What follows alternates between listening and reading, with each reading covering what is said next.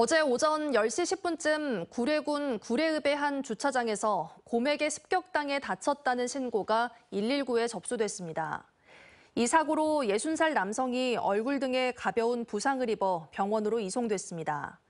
소방당국은 산에 있다가 곰이 습격해 다쳤다는 부상자의 진술을 토대로 정확한 경위를 조사하고 있습니다.